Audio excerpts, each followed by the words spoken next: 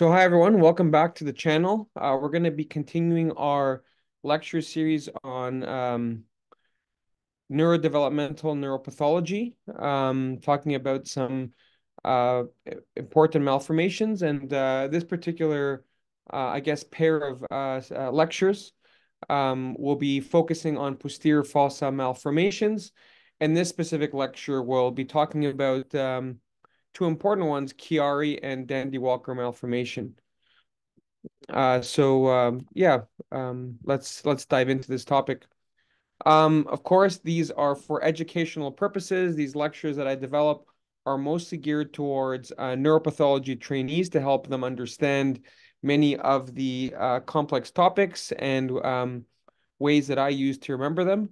Uh, these are by no means for uh, diagnostic purposes, but strictly for educational um, uh, purposes. And um, uh, if you have one of these disorders, um, of course, uh, uh, there is no better source than your primary physician. So, um, as I mentioned, this will be part of a two-set um, series on posterior, posterior fossa malformations uh, malformations affecting the back part of your brain, of the cerebellum. And um, today we're going to be talking about Chiari malformations and Dandy-Walker malformations. Um, and in another lecture, we'll, we'll talk about uh, Joubert and um, uh, heterotopias and dysplasias of the cerebellum. So um, if you want to uh, follow along in the text, most of the pictures that I'll show today um, were extracted directly from um, these two books. They're the same book, actually, just different editions. Um, I had the original one when I was a, um, a pathology resident, but they've subsequently updated it to um, uh, the second edition um, uh, a number of years ago. Uh, I recommend both. Uh, with every new edition, some information has to come out for new information to come in. And so um, reading the same topic in different editions gives you uh, slightly different uh, perspectives and insights into these diseases. So let's begin with Chiari malformation. Uh, what is it? Um, this is a hindbrain deformity associated with cerebellar herniation and hydrocephalus. This is the definition, as you'll see, that kind of unifies the different types of Chiari malformations um, because there are a, a, quite a number of them uh, in this um, uh, in this constellation of diseases. So Chiari 1, um, this is when you have um, the uh, herniation of the cerebellar tonsils into the spinal canal, more specifically into the upper uh, cervical canal. And this uh, MRI uh, kind of just shows what that looks like uh, with the top image showing the yellow line of where the um, frame, and magnum, which connects the uh, the brain to the spinal cord and the brainstem to the spinal cord uh, opens, and you can see that in a normal individual, the uh, cerebellum lies above that line, whereas in a Chiari malformation, there is herniation of that uh, of the tonsil uh, below that uh, imaginary line. Um, and um, uh, it's important to note that this is uh, an absence of another um, uh, lesion in the supratentorial region. So there are cases that may cause herniation, whether it be due to a, a bleed, um, a tumor, or other kind of uh, mass um, space occupying lesions. Um, this is not the this is not a Chiari one malformation. Chiari one malformation is a neurodevelopmental uh, disease, or at least it's thought to be, um, that, that, that where the herniation happens in absence of any kind of uh, uh, space occupying mass. Um, interestingly, the, um, uh, the, the symptomatology of Chiari's uh, is quite um, uh, variable. Many patients are asymptomatic. Other patients have a um, a different spectrum of symptoms depending on the severity of the herniation and other um, aspects such as uh, hydrocephalus and what, what, we'll see a syrinx formation in the spinal cord. Um, uh, but because there are so many asymptomatic uh, people, it's hard to know exactly what the true incidence and prevalence of, of, of this disorder is in the general population. It does cause some scoliosis. So um, in patients that have scoliosis already, there is a higher prevalence of, of, of Chiari-1 malformations in these patients. Now, um, as I mentioned, there's a number of Chiari um, malformations. Um, another one that uh, is important to know is Chiari 2. And in this one, you have a more severe displacement of the uh, cerebellar vermis into that upper cervical canal and additional malformation such as a herniation of the um, uh, of the brainstem, uh, kinking of the brainstem, uh, herniation of the fourth ventricle, uh, so much more pronounced herniation. The reason why it is um, uh, categorically different is because it is um, almost invariably associated with a um, myelomeningocele. And so um, the, there is distinct uh, pathophysiological differences uh, in Chiari and Chiari 1 and Chiari 2 that are important to, to note. Um, again, uh, if you're writing an exam, um, this is the key thing that you need to highlight is that your knowledge that uh, uh, Chiari 2 uh, occurs in a large proportion of myelomeningoceles. And it is almost impossible um, um, to um, break this association, at least in the uh, books that I have read. Um, um, the, the two diseases uh, uh, have to go together in the, in the large majority of cases. Um, Chiari 3 again is a categorically different disease. This is when the herniation of the cerebellum uh, is not into the uh, cervical cord, but uh, instead uh, through an occipital encephalocele. Um, and this is distinct from the encephaloceles that we, we talked about in the um, uh, neural tube defect lecture, um, with the distinction here being that it's the cerebellum that is the primary tissue that's being herniated through the um, uh, the bony defect. These are extremely rare, um, and uh, um, yes, I mean that that's where we'll leave it at that. Um, there was uh, the original um, uh, Dr. Chiari who uh, characterized these had uh, four. His fourth one was when there was an absence of a cerebellum. This was uh, kind of later uh, found out to be um, likely due a secondary destruction of the cerebellum rather than actual uh, developmental defect. So it's um, this particular one has fallen out of favor and is no longer used, but uh, I, I put it here for historical purposes. Now, interestingly, you may hear um, variants such as Arnold Chiari that usually is in reference to um, Chiari type 2, but for a number of um, uh, kind of uh, um, uh, reasons that are beyond the scope of this lecture, um, the um, uh, and, and people that other other people that have contributed to um, the, the, the characterizations of these diseases, that term has fallen out of favor. You may see it in some textbooks, uh, but uh, now the community has kind of just favored calling um, Chiari 2 Chiari 2. I'll leave it at that. Um, so we mentioned uh, Chiari 4 likely rather a secondary destruction of the cerebellum rather than a true anomaly. Uh, it's no longer used. Uh, and it's important to note that um, if you read new textbooks, there's been some um, variants that have been proposed, uh, again, due to the spectrum um, that can occur in between these uh, uh, Chiari uh, designations. For example, there's a Chiari 0, where you have cerebellar cr crowding without herniation, but because you have a syrinx, which is a collection of uh, CSF in the spinal cord, which is such a prominent feature of the um, symptomatology of this disorder, um, some people will call that um, uh, a Chiari zero. There's also a Chiari 1.5. Um, again, here, uh, perhaps the um, herniation is much more severe.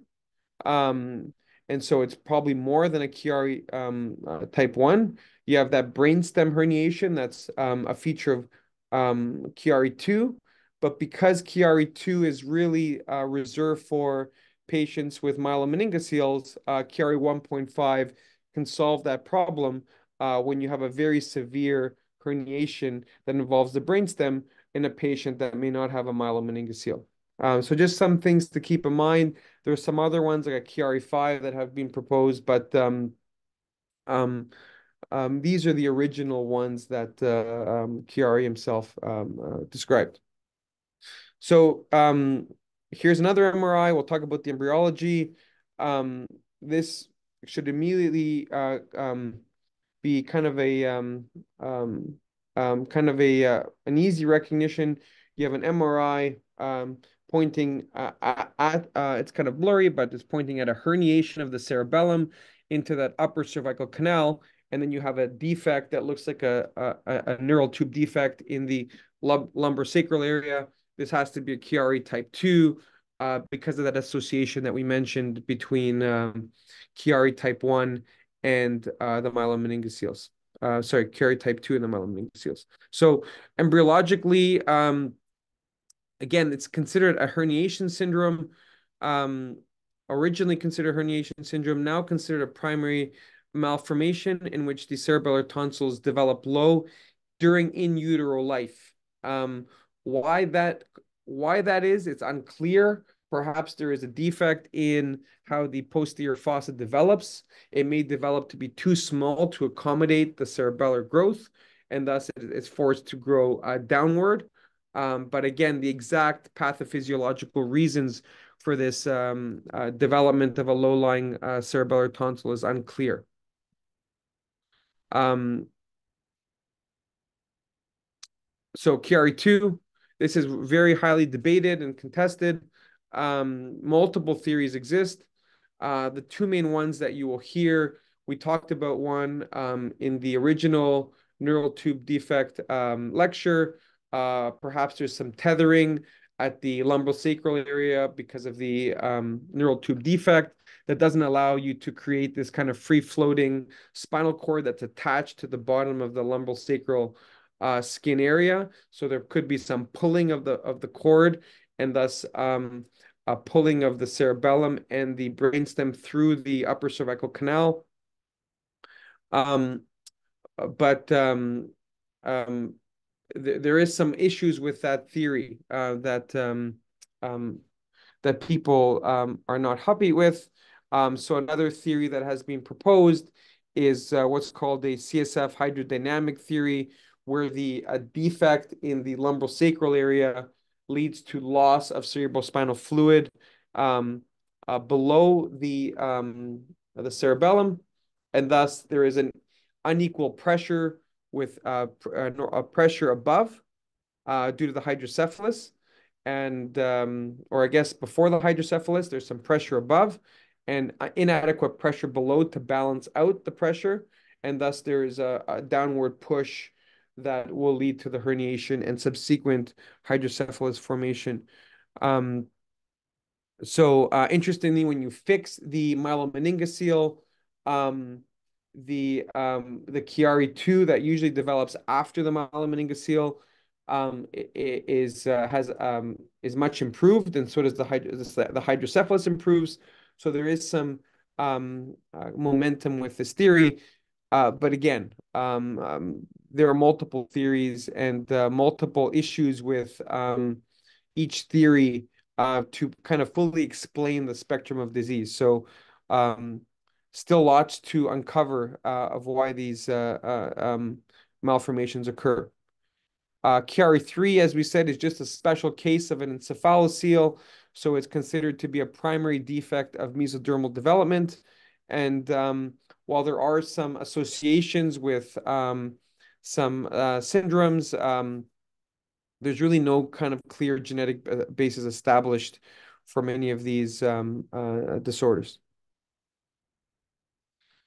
So clinical features, um, basically, um, you can have almost any neurological feature under the sun, depending on how severe that uh, herniation is, how severe the hydrocephalus is, and how large the syrinx is. Um, usually, uh, they become uh, symptomatic around uh, the teenage years to adult life. And the most common presenting symptom of uh, Chiari 1 is neck pain, headache, um, which is usually worse uh, with uh, kind of Valsalva type of um, actions, um, bending over, coughing, sneezing, um, rising quickly um, uh, due to the kind of pressure that's uh, harder to equilibrate uh, during these um, high intensity situations. Um, but um, um, symptoms can also be largely attributed to the um, the, the hydrocephalus. Um, interestingly, a lot of the symptoms are also due to the syrinx below that's formed in the spinal cord, uh, usually around the C4 to C6 area, but the symptoms will vary depending on where uh, it occurs. And the the classic one that you may uh, see on an exam is this kind of cape-like distribution. Um, uh, so here in this, uh, you can see here the herniation in this MRI image, and then you have this this kind of fluid uh, cyst formation in the spinal cord.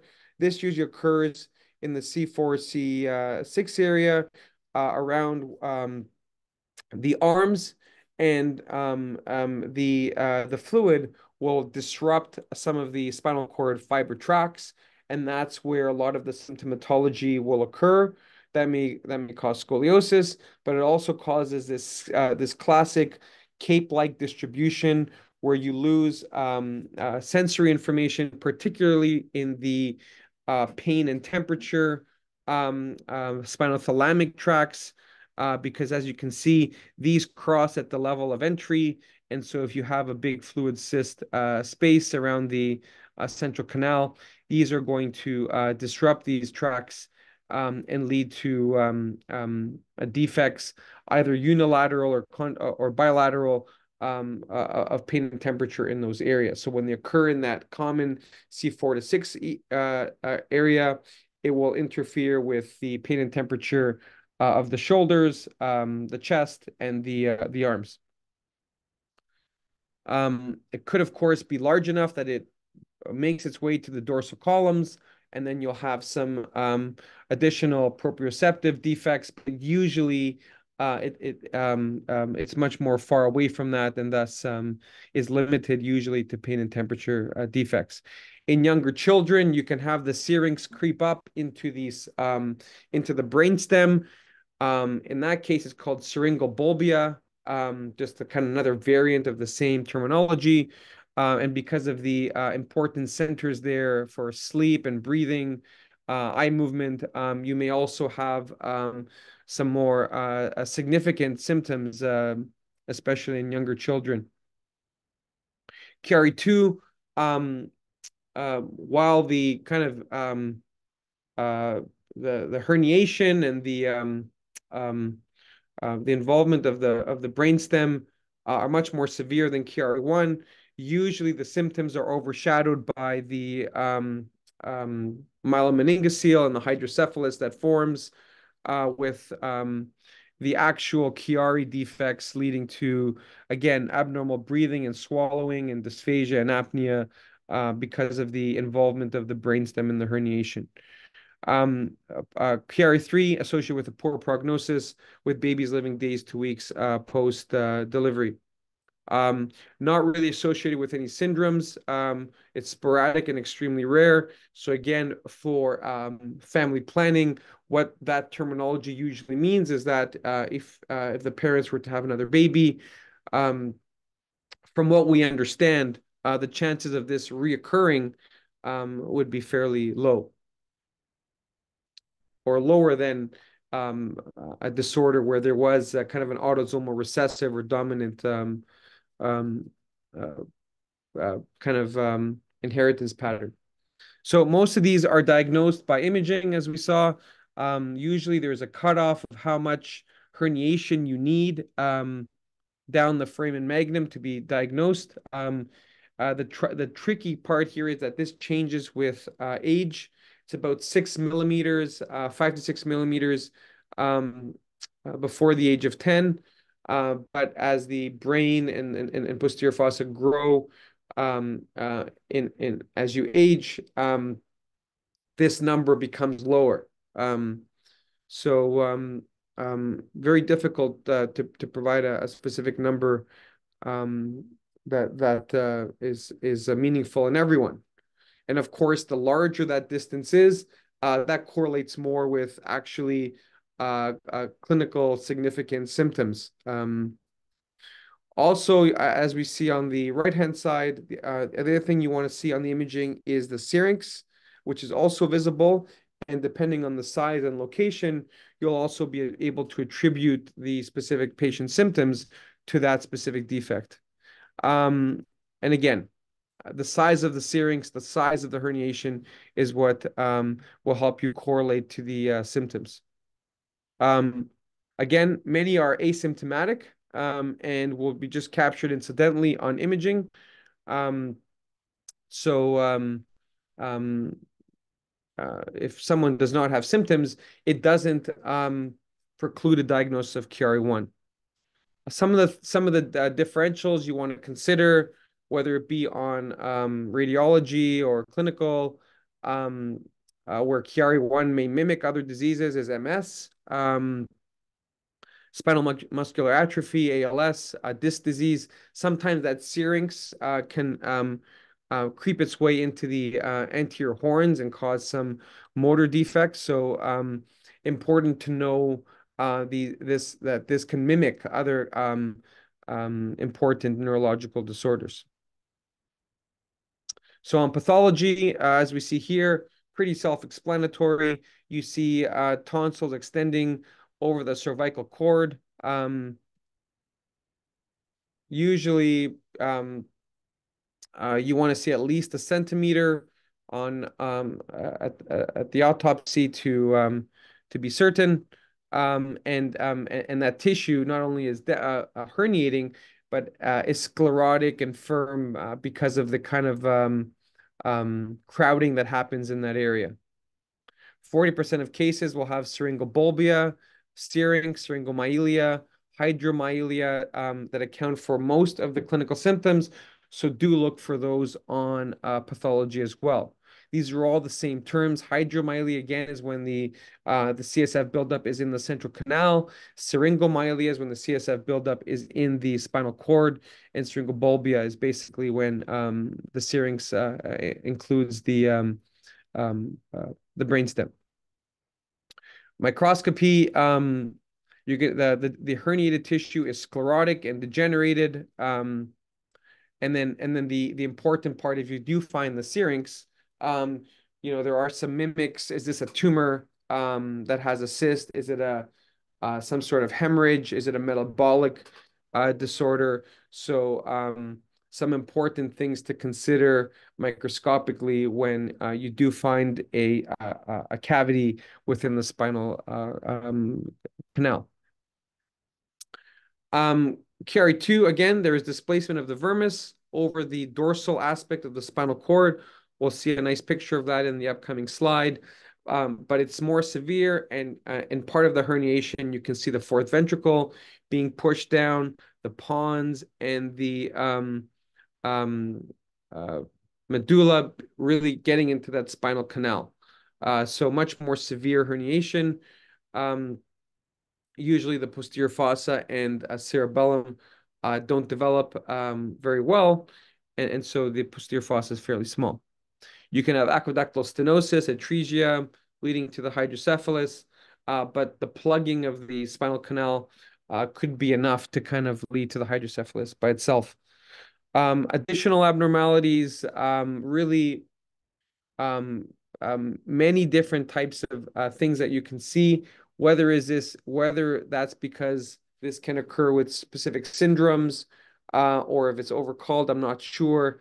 Again, these are very rare disorders. Um, I, have never seen one uh, in an autopsy setting. So, uh, but what has been reported, uh, pachygyria, polymicrogyria, uh, periventricular heterotopia. So uh, be on the lookout because it could suggest a kind of syndromic uh, variant of um, um, or syndromic cause or genetic cause of of this disorder.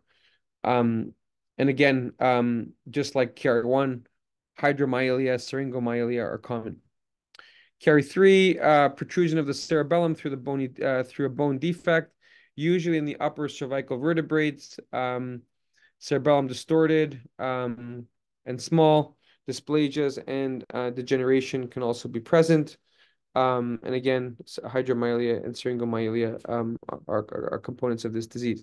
Here is um, a quite a severe Chiari type 2, showing uh, the um, the cerebellar vermis, uh, really herniating uh, really far down and around the spinal cord. It's like not only in the back, but it seems to be wrapping around just due to that um, a lack of space it has in that spinal canal. So um, a very severe example um, uh, in this uh, young fetus. Um, and um, we can see that this develops fairly early on during development. And here is just a, a gross picture uh, of an autopsy um, of a newborn with uh, Chiari3 with that large uh, herniation of the cerebellum in the cervical lower occipital region um, in a newborn. Okay, so that's really uh, the Chiari malformations. Um, uh, very distinct disorders uh, grouped together by this um, uh, herniation phenomenon of the cerebellum. Um, uh, so uh, hopefully that gives you a good kind of um, framework of how to think of these disorders. Um, but uh, nonetheless, to say even though they have a similar name, as we saw, they're categorically different disorders. Now we're going to talk about Dandy-Walker malformations. This also exists as uh, a number of uh, disorders um, in some classification schemes, uh, Dandy-Walker variants or complex. Um, importantly here is um, whether these are continuum or different disorders is much more contested.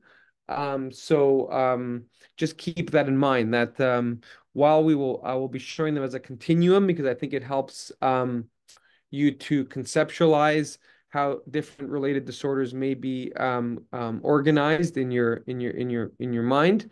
Um, whether these are similar uh, that uh, similar disorders on a spectrum or distinct disorders uh, is a highly debated topic.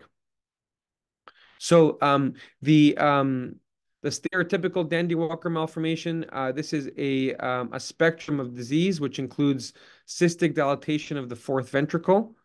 Um, there is hypoplasia of the cerebellar vermis, and there is enlargement of the posterior fossa.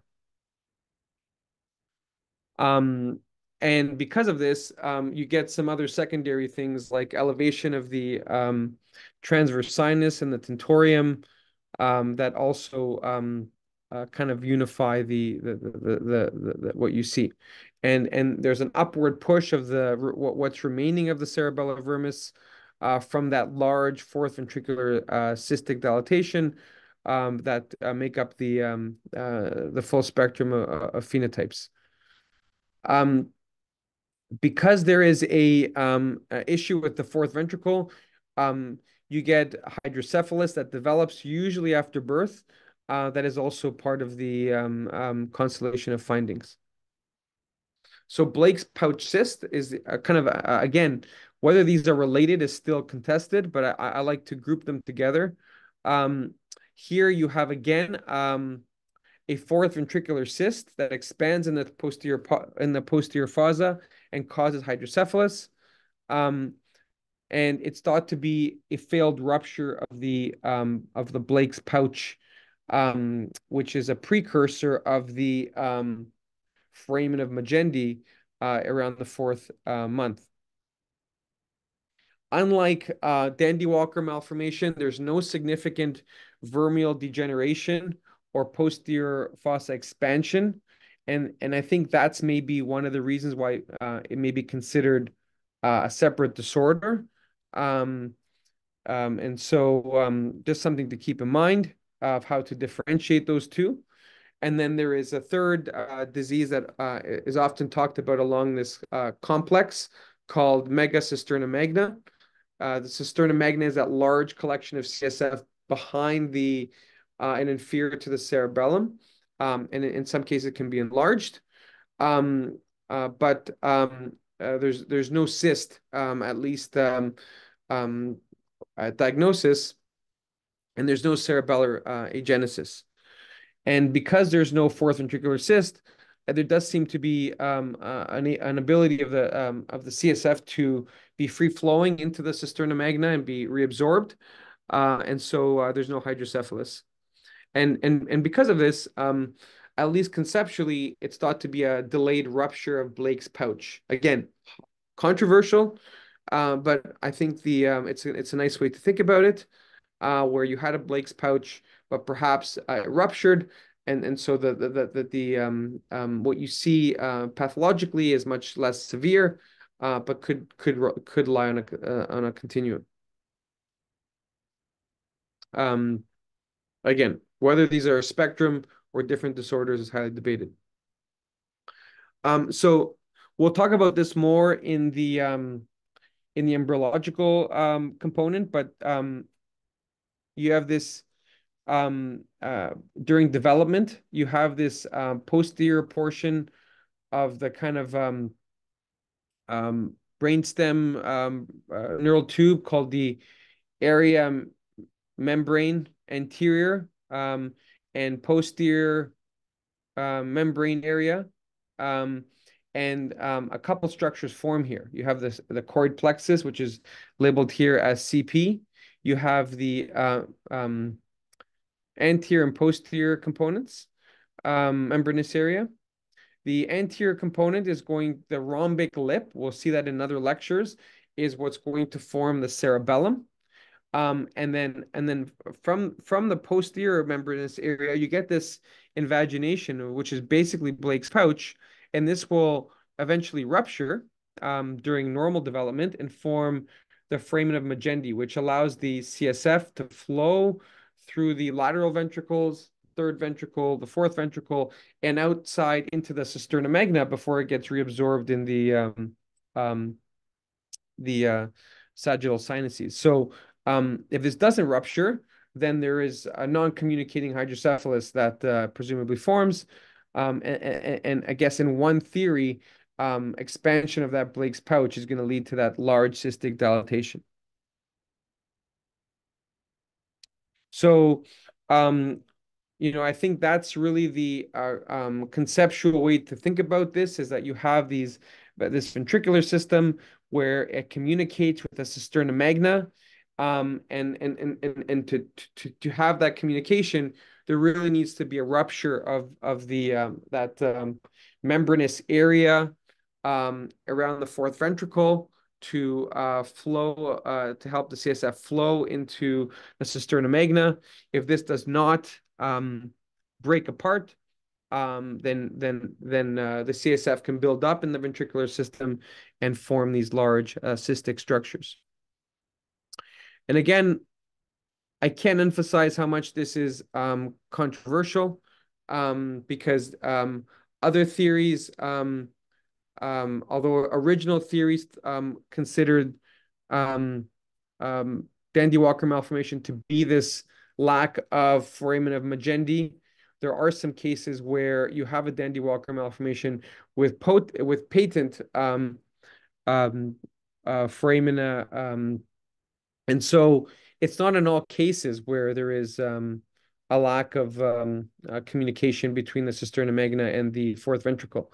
Um, um, and some and, and, and, and some new theories emphasize the um, um, the vermial um, uh, hypoplasia as the key as the key factor, but um, we'll leave it at that for now. Um, if you want to think about them, I, I um, in a kind of way that's easy to remember, I do think the spectrum is helpful. So here you have um, a normal cerebellum, you have your cerebellum, your choroid plexus, and you have your cisterna magna here in the retrospir uh, retro uh, space in mega cisterna magna, um, where you have a rupture that connects the fourth ventricle to the cisterna magna. Um, you, presumably, it does affect development uh, to some degree. So you do have a, a kind of a larger cisterna magna. Um, the cyst involutes because of the rupture, um, and there's no cere cerebellar hypoplasia um, because it ruptured um, early enough where the cerebellum can form uh, normally. These patients are usually asymptomatic. Is a benign disorder. Um, uh, uh, once once once the uh, the baby is born without any other defects. Um, um, so Blake's pouch, uh, really, you have this failure of rupture of Blake's pouch. Um, you have an enlarged um, retrocerebellar uh, uh space. There is a large cyst that's lined by uh, the, the, the same layers as the uh, fourth ventricle. So you have an ependymal layer Um, you you may have some cerebellar aspects of the cyst um, uh, closer to the cerebellar tissue, but importantly, uh, perhaps due to the smaller size um, compared to Dandy Walker malformation, you do not have that um, cerebellar hypoplasia. And then Dandy Walker malformation is the most severe uh, form where, again, you do have this fourth ventricle lined uh, cyst um, that is continuous with the fourth ventricle. You have a massively enlarged uh, retrocerebellar uh, space, and you have hypoplasia of the cerebellar vermis. Um, new theories suggest that um, the genes that are implicated in familial forms of Dandy Walker malformations are involved in cilia uh, and perhaps migration. And so the um, cerebellar hypoplasia, whereas can be considered kind of um, being disrupted by the actual cyst. Some of the newer theories uh, suggest that it's the actual genes um, that are affecting uh, its proper development. There is um, a separate disorder called um, cerebellar vermial hypoplasia uh, that's now included in the complex um, where you have um, a fairly normal or prominent retrocerebellar uh, space. You do not have that cyst wall, um, uh, but you have cerebellar hypoplasia. And I think why it's been brought in is because of these kind of alternative theories uh, that Dandy Walker malformation may actually affect um, the cerebellar uh, vermis formation as a primary uh, driver rather than a secondary cause of the cyst. So um, perhaps even including that will help you remember these different disorders. Demographics, very rare disorder, usually uh, diagnosed within the first year of life. Uh, but some of these, um, uh, depending on the size, can be asymptomatic, especially if there's no hydrocephalus, um, and maybe diagnosed later. Usually equal in males and females. And risk factors, as we'll see, is very complicated. There can be some genetic ones, but also some teratogens, uh, some infections that may uh, cause secondary damage to the meninges um, and block uh, these foramina. So that's why perhaps you may even have a patent foramina that are normally developed.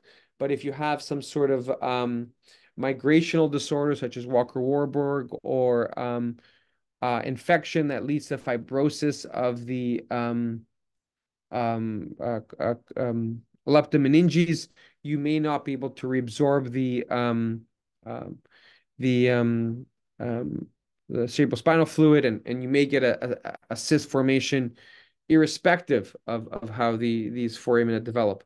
So um, uh, kind of a multifactorial disorder, to say the least. Again, embryologically, um, one of the initial theories was proposed failure of foramen of Magendie and Luschka to become fully patent. Um, the cerebellum usually develops uh, from the rhombomeres, um, which are uh, kind of uh, pattern structures uh, around the area of the um, the brainstem, uh, third to fourth week. Uh, there's an expansion of the midline of these rhombic lips to form the vermis around the third month. Choroid plexus, as we saw, forms in this kind of um, posterior membranous area, uh, membranous area, um, in the tela choroidea, uh, um, and uh, basically um, the foramen of Magendie forms to connect the fourth ventricle and the subarachnoid space uh, in that kind of inferior or posterior component of the um, membranous area uh, um, by rupturing. If it does, if that doesn't happen, um, then then you can have problems. Um, usually, um, uh, the anterior one becomes uh, disappears and come, becomes incorporated into the choroid plexus um, uh, during vermis formation. Uh, but if it's thickened or interferes with um, the uh, um, the rupturing of Blake's pouch, uh, that could be also um, a cause uh, for um, uh, the cyst formation.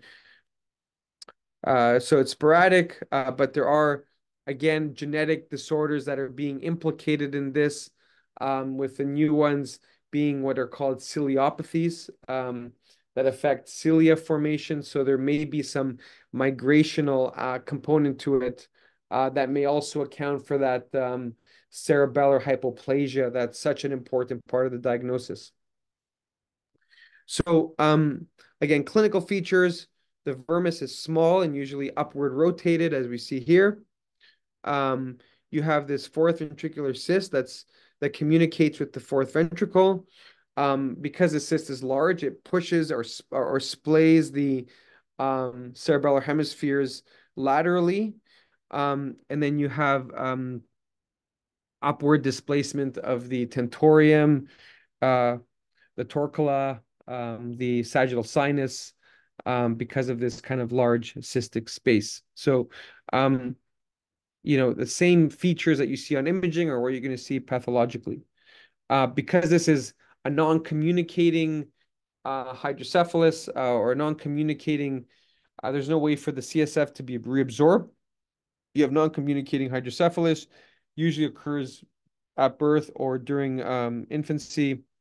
And the macrocephaly can affect um, it's going to be driving a lot of the symptoms. So uh, poor poor motor control seizures um, 50% of patients have significant intellectual disability uh, although some patients are reported to have uh, fairly normal um, uh, uh, cognitive function this may be because of this spectrum and and and and kind of overcalling dandy walker malformation um, with uh, other variants, um, but um, the mega cisterna magna uh, usually is benign and asymptomatic. So it may be something you see incidentally on imaging.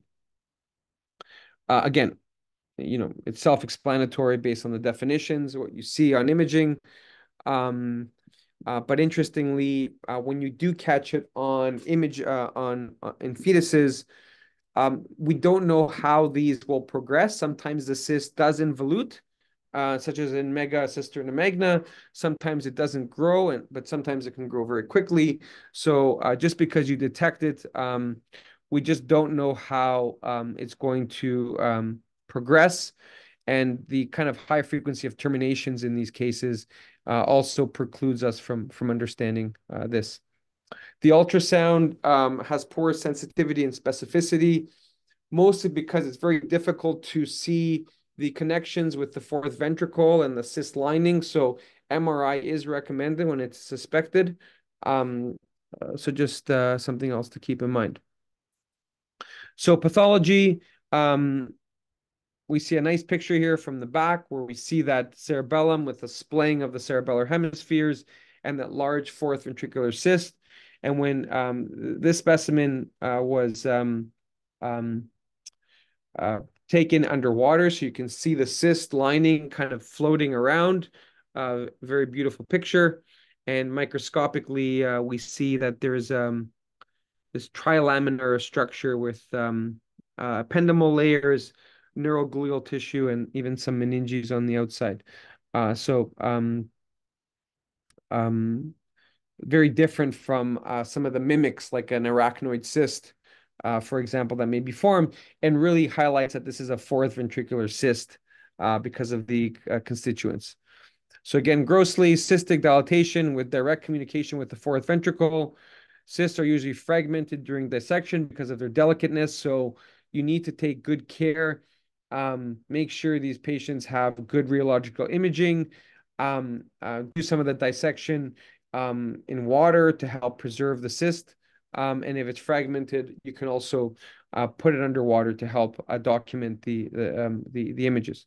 The hypoplasia of the cerebellum, um, especially the vermis, is what really is going to help you determine if this is a Dandy Walker malformation in the true sense, or if it's one of these variants, like the uh, cisterna magna or the Blake's cyst, which have a, a, a lesser degree of uh, vermial um, hypoplasia. The vermis is rotated rostrally um, uh, under the along the surface of the tentorium. Microscopically, the cyst is going to be uh, really important here. Uh, you want to see that um, there's tuft of choroid plexus, there's cerebellar tissue, there's ependyma uh, that support its its its identity as a fourth ventricular cyst. Um, And uh, similar to the Chiari, uh, you want to look for other malformations as um, as this can be part of a, a constellation of findings uh, of uh, of, syn of syndromes such as polymicrogyria, microgyria, heterotopias, um, and this would suggest more of a genetic uh, predisposition rather than environmental ones such as uh, an infection or uh, or a thickened uh, leptomeninges from some insult. So uh, here's some more pictures, um, just highlighting the upward uh, displacement of the vermis and the uh, cyst wall, uh, which in some areas is um, contains the the vermial tissue, and in other areas is much more thin and may contain just the fourth ventricular components. Just some more examples of that cyst. Um, uh, beautiful pictures here. Um, that cyst uh, formation in the in the in the posterior fossa. You have an H and E image in panel C showing that uh, disorganized immature uh, tissue um, uh, and cerebellar tissue that line the the cystic cavity, and these sagittal sections um, uh, just show potentially some uh, variations with um, a much more hypoplastic uh, vermis in panel E than panel F um, um, with E maybe being a, a higher chance uh, being one of these severe Dandy Walker malformations, whereas the smaller cyst uh, with the um, preserved vermis um, may suggest a variant uh, such as a Blake pouch cyst um, in panel F. Differential, again, um, it's important to differentiate these from other conditions. Uh, uh, specifically um, in the posterior fossa, arachnoid cysts. Arachnoid cysts um, are, are cysts. Again, they have the same uh, collection, uh, cerebral spinal fluid, but these are formed by the arachnoid cell. So the, the lining is going to be much different. It's going to have a slender arachnoid cell uh, a cyst wall microscopically. These are usually uh, flattened because of the pressure and are usually found above the cerebellum rather than below. So their location documenting that is also going to help you differentiate these two. And other cysts that may uh, develop in the posterior fossa, uh, tumors, um, pilocytics, ependymal cysts. So um, uh, getting that trilaminar um, uh, um, uh, um, cyst wall with the ependyma, the disorganized cerebellar tissue um, is going to help you differentiate it from other kind of uh, diagnostic mimics. Hypoplastic cerebellums without cyst formation can also um, masquerade uh, as Dandy Walker malformation, Joubert syndrome, which we'll talk about in another lecture, Walker Warburg uh, syndrome, where uh, cerebellar hypoplasia is part of the um, um, uh, diagnosis. Um, just briefly, uh, Joubert syndrome. This is a autosomal recessive syndrome. So again, the key here is that uh, while these are rare and likely um, may may may uh, be easy to uh, uh, differentiate, uh, it has significant implications if something is autosomal recessive versus sporadic for family planning. So getting this right is of utmost importance for the family um, in these difficult situations. Um, these uh, um, Joubert also has agenesis of the vermis, um, but uh, also has prominent uh, um, midbrain abnormalities, which are not found in Dandy Walker malformations, and suggest a kind of different neurodevelopmental uh, trajectory. Right, it's a it's a defect in in rhombomere um, um, um, and, and and and the brain tissue more specifically than the um, um, than perhaps some of the other um, concepts that we talked about today.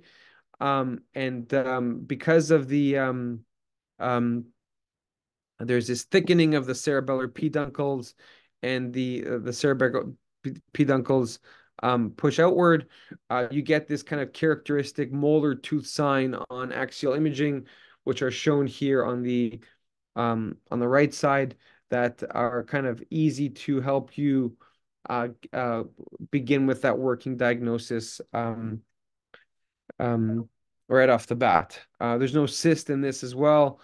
Um, and there's a good communication between the fourth ventricle and the uh, subarachnoid space in the cisterna magna. So um, uh, very distinct uh, features um, anatomically as well.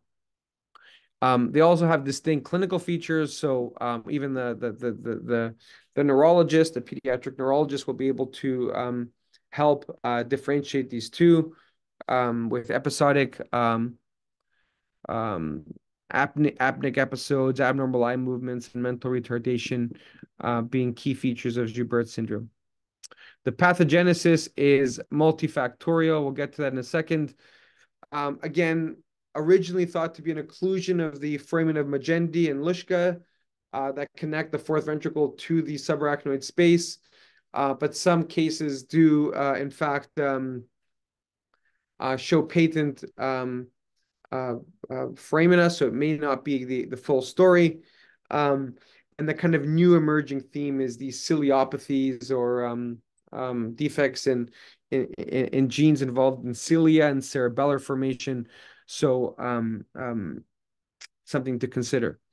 75% do have non-communicating hydrocephalus, so there there does seem to be some um, occlusion of the of these of these foramina, whether it be as a primary or secondary defect, um, and and still just not well understood. And I think this this figure here um, really just shows um, um, that um, the, the difficulty in nailing down a pathogenesis may be because of the multifactorial aspect of this disease. So we have some genetic uh, contributions that may primarily lead to cerebellar hypoplasia um, and, atresia of the um, foramina.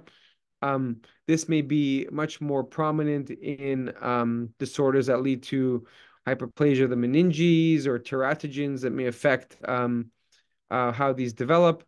And then, of course, uh, infections and other hemorrhagic processes that may also occlude the foramina that normally would have formed. Um, when these occur may determine what variant of the disease you have. Um, so if they occur very early, you may have a Dandy Walker malformation. If they occur later, maybe you have a Blake's pouch cyst uh, without the vermial de uh, degeneration. And if they somehow um, are um, uh, can be perforated early on, um, you, you, you may get uh, megacisterna magna or a much less severe form. Um, and then, of course, um, I think the importance here of, of, this being included um, is that perhaps some of these genes um, and cyst formation may affect uh, uh, how the vermis develops. Um, normally, it is that last part of the cerebellum that forms, and so um, there's a long window for it to be disrupted uh, in development. So perhaps um, there is some uh, good reasons to include it as part of the spectrum. Um, so very controversial topic, but hopefully um, it, this provides a framework of how to think about these disorders. Um, uh, you know, on exams, I would mention that um, the the pathophysiology is controversial, and maybe mention some of the theories and why uh, they don't all fit um, um, perfectly into a very neat um, mechanistic understanding of this disease. Uh, but perhaps there isn't a neat a mechanistic understanding. Perhaps it is a multifactorial disorder, and and and and some mechanisms may be at play in some some patients uh, and not others. So lots to um, uh, still uh, be um, sorted out in in in future iterations of, of research in these topics. So hopefully that was helpful. Stay tuned for more. Thanks for listening.